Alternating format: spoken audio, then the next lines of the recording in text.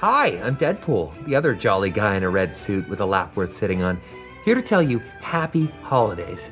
In the spirit of this most festive time of year, I've decided to release my holiday cheer all over the world. How, you ask? Well, you naughty stocking stuffers. So sit back, hold on to your ornaments, guzzle a little eggnog, at least that looks like eggnog, and prepare yourself because it's time for St. Wade to put the win in Winter Wonderland. Welcome back, everyone. Maximum Effort, the actor who plays Dopinder and Ryan Reynolds himself, just revealed a canceled Deadpool and Wolverine movie that they were about to make at Fox. It was going to be a Christmas movie, so we'll break it all down. And, fun fact Santa Claus is actually a Marvel character. Because honestly, actually, to bring it back to Roshan, on our first date, I recapped the plot of Deadpool 3, which I wasn't supposed to. This was a Fox version, which didn't get made uh-huh. because the studio got sold or whatever. We just met and I was desperate to impress him. And I just blurted the entire thing. I told him Hugh Jackman was gonna. This is like years before. So, all to say, I didn't get a script this time, thank God. I have nothing. So they didn't even tell me the trailer was coming out. I got to watch it when yeah. it came out, and I'm excited to be a small part of it. Are you allowed to say what the the version that didn't get made was? Yes, I think it's uh, online a little bit, so maybe I can. But it was going to be originally a road trip movie where Deadpool tries to save Christmas. So we all go to the North Pole. it was the week before Christmas, and all around town, b-ball fans were dying to watch LeBron, Steph, and Russell throw down. should bring back the short shorts. Who wears short shorts? I do. I wear short shorts. A basketball miracle, right here on Christmas Day, stuffed into our stockings by the Jolly NBA. Join us for games. Oh, and something else cool. In between all the dunks, a sneak peek of Deadpool. We hope you've been nice. We're about to get another Deadpool and Wolverine trailer. Of course, I'll be doing videos for everything, so be sure to subscribe if you're brand new to the channel. The actor who plays Dopinder said that he basically explained the plot of what that movie was going to be to his girlfriend at the time. This was before the Disney buyout went down, Good thing they hadn't actually given him a physical copy of the script, so he hadn't signed an NDA yet, so they couldn't sue him out of existence for revealing the plot of that movie. But a Deadpool and Wolverine Christmas movie might seem familiar because we just got the Guardians of the Galaxy holiday special with all those Marvel characters. The big coincidence with that movie is that it's basically Deadpool and Wolverine going on a road trip to save Christmas, essentially. We're doing Deadpool and Wolverine right now in the MCU, so it sounded like Ryan Reynolds had been trying and successfully was able to get Hugh Jackman to actually be in that movie if they were about to make it. Deadpool and Wolverine. This just feels right. Recently, Ryan Reynolds explained that they wrote and prepared a secret Deadpool movie in 2018, a couple years ago, after Deadpool 2 had been released, and they were going to release it during the Christmas season, but it got lost in the shuffle, he says, when Disney bought Fox.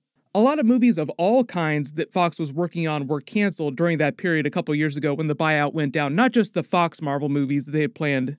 The only difference in that one is that it was going to be a much smaller road trip movie with just the two of them, Easy Rider or Midnight Run style. And now the Deadpool 3 Deadpool Wolverine movie is meant to be a much bigger multiverse movie incorporating elements of the Fox Marvel Universe, the main 616 MCU, the TVA, Mobius, other characters from Loki. And it's more in the vibe of Deadpool kills the Fox Marvel Universe.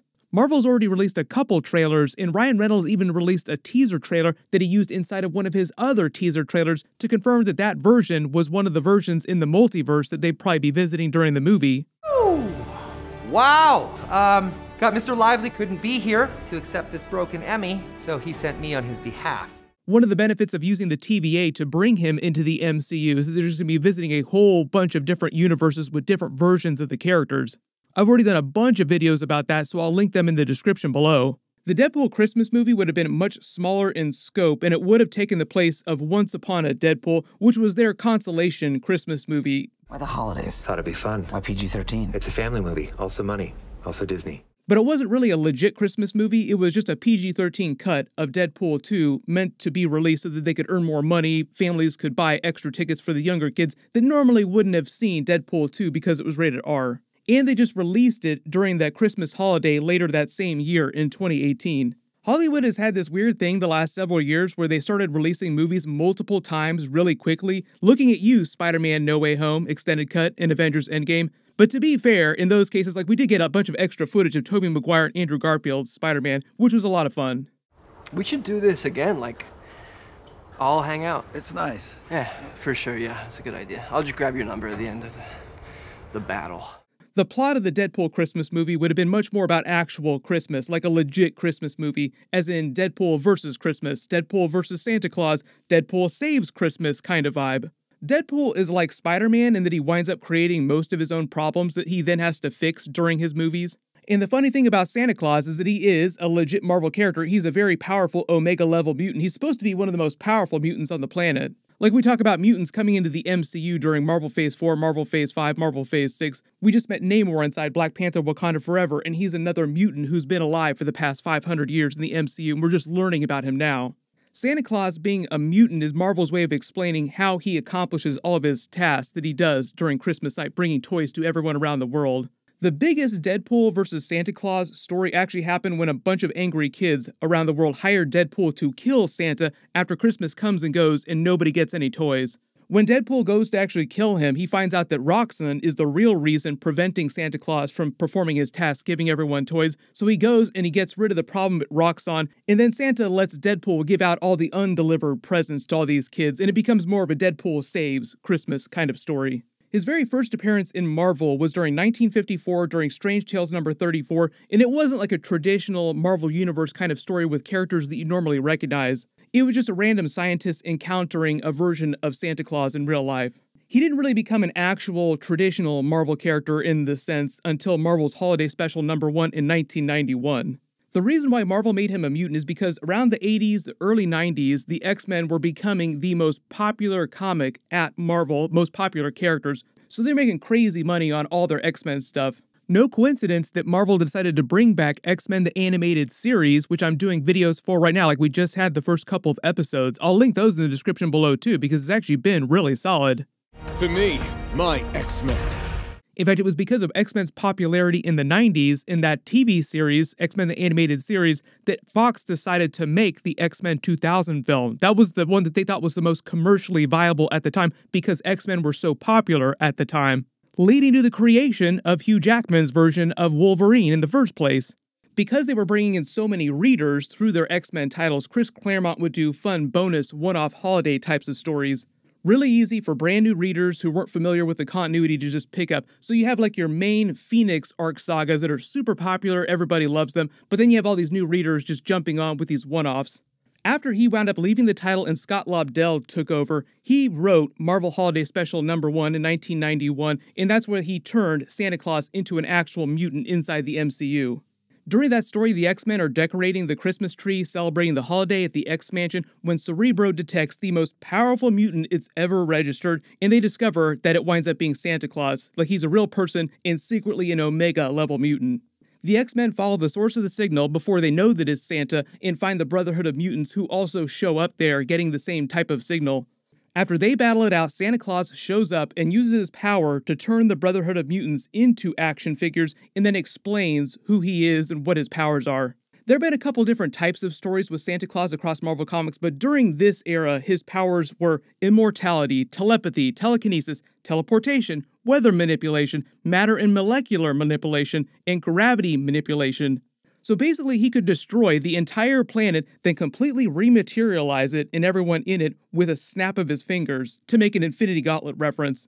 Speaking of which, there is the famous story of Santa Claus wielding the Infinity Gauntlet that everybody points to. That's also a one off Marvel holiday story that happened a little bit later, and during that story, it just picks up with Santa Claus already wielding the Infinity Gauntlet, fighting the Illuminati, and he's more the antagonist. Once they calm him down and he comes to his senses, he apologizes for what he's done and explains the only reason why he assembled the Infinity Gauntlet was so that he could perform all of his tasks as Santa Claus delivering presents. And Iron Man winds up helping him out by making a bunch of Stark Tech reindeer bots that will help him do it, like a bunch of Iron Legion Ultron bots, but that are reindeer. The way Ryan Reynolds talked about his Deadpool Christmas movie made it sound like it wasn't like a really huge, really expensive type of movie. So I actually think that Marvel would be better off releasing it as a holiday special one off in some future year, like the next couple of years at some point. Really good example of this was the Guardians of the Galaxy holiday special, which was made to set up Guardians of the Galaxy 3, just generally a lighter tone, smaller movie. A Deadpool Christmas movie would totally be in the same type of tone, like it's just a small, fun, one off type of story. It's a little bit easier for Deadpool to get away with stories like that, especially the more jokey comedic stories, just because the way the character is built. And the funny thing is that David Harbour, who is now Red Guardian in the MCU, he's going to be in the Thunderbolts movie in a big way. He just made a Christmas movie in real life where he plays a version of Santa Claus. It's called Violent Night, so it's more of like a hardcore Santa Claus. So it just feels like they have all the ingredients for like a really easy, really fun, one off, small Deadpool holiday special Christmas type of movie. You may remember several years ago now when they released the first Deadpool movie, because it came out in February around Valentine's Day, they spent most of that previous Christmas holiday promoting the movie with the 12 Days of Deadpool. It was probably one of the best marketing campaigns I've ever seen. The actual plot of Deadpool 3 doesn't really have anything to do with Christmas specifically. It's more of a Deadpool kills the Fox Marvel Universe kind of story, more of a larger multiverse story. Like the whole idea that Deadpool had Cable's time travel device and was messing with all the timelines at the end of Deadpool 2 in the post credit scene. And now the TVA is getting involved because he just continued doing that and things got worse and worse and worse. And he started to destroy the timeline and it caused larger ripples across the multiverse. And that's why the TVA is getting involved. I'm sure when the movie comes out, there'll be a lot of questions about how it ties in with the events of Loki season two. It's meant to take place after Loki season two, so God Loki exists in the middle of the multiverse here, so I fully expect to see some jokes about Loki at some point during the movie. But if Marvel actually does make a Deadpool Christmas movie or Deadpool holiday special, let me know in the comments what you want them to do during that. Which other characters do you want to see from the MCU? They could just do it with a couple of Deadpool characters. You don't need a ton of characters for that. Or they could turn into a much larger thing like that original Marvel Holiday Special where they introduce Santa as an Omega level mutant. Seriously, it'd almost be a bad idea for them not to try something like that. Everybody click here for all my Deadpool and Wolverine videos, and click here for all my X Men 97 episodes. Thank you so much for watching. I'll see you guys in the next one in maximum effort.